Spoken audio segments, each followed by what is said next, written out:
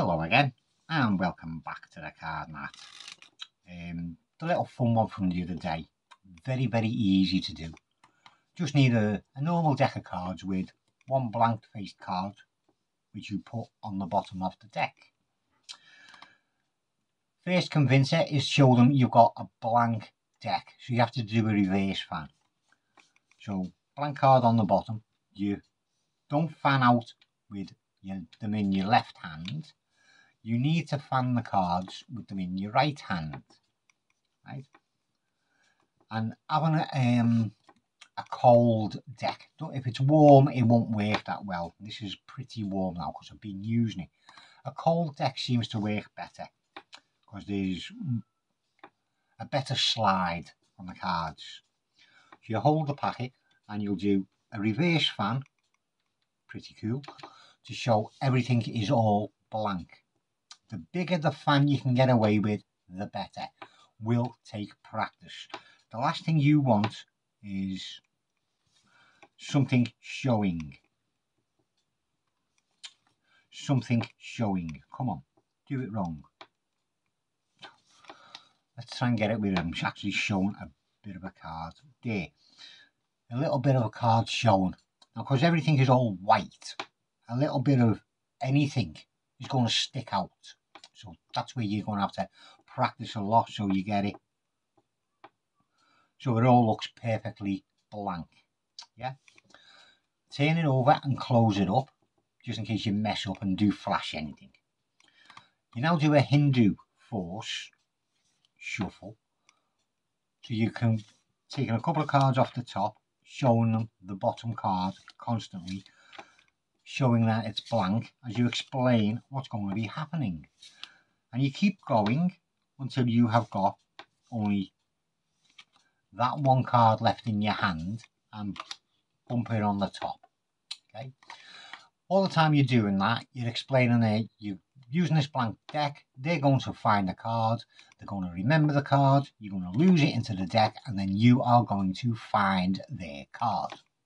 Easy. Yeah. At this point, you need to force that card onto them. Use whatever force you are happiest with. The one I used in the performance is a move I shown in a video a couple of days ago. You'll shuffle the card down to the bottom of the packet. You're going to pick a card out of this packet. Spread the cards onto the table and ask them just to slide out any card that they feel happy with. So they'll slide the card out. And obviously it is not the blank one. You'll pick the packet up and hold it down its long edges and you're just going to pop that bottom card out. While it's down like that, you're going to pop the bottom card out and use that to scoop that card up. Keep a break between that card and your force card.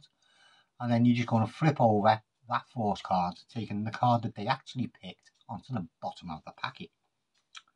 So you've gone and picked that card. Please remember that card because we are now going to lose it into the middle of the packet.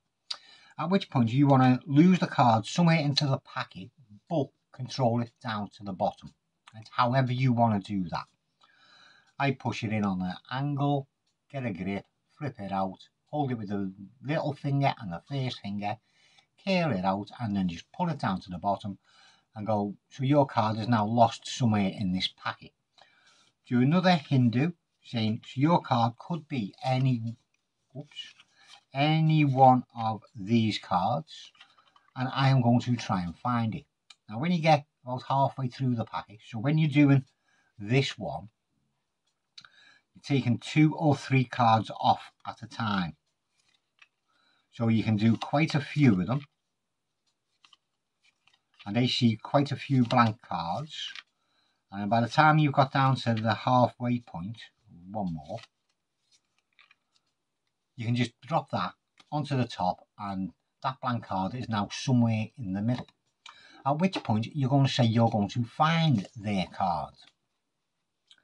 So all you do is hold the packet so they can't see and spread through looking till you find the blank card. You can push up a couple of cards saying it could be this one, it could be that one, it could be this one, it could be that one, and it could be that one. Hmm. I tell you what, I'll pick that one. And make sure you take out the blank card. Close your packet up uh, without them seeing the faces, obviously. And say, so I reckon that is your card. Please tell me if that was your card. To which they're going to say, well, it's blank, but I don't know if it's my blank card, if they're all blank, they all look the same. Well, I'm pretty certain that is your card, and then you just spread out the packet to show it was the only blank card in the packet. And that's it. You can, if you want to, once they've picked their card, get them to sign it. Could add a bit to the the Mm, the fun part. Because they just sign the card a blank card which you just then put into a blank deck and then you're trying to find their card. Well if it's a blank deck that's the only one that is signed it's going to be quite easy to find isn't it? So when you find it they're going to go yeah well that's easy to find because it's signed. Well it was easy to find for another reason not just because it was signed just because it was the only blank card in the packet. So just two different ways you could finish on that. But anyway, that was it. A little fun effect, which is guaranteed to get laughs. As long as you put some effort into make it fun. Yeah, magic should be fun. Why not? Anyway, I'm going to shut my face and get off.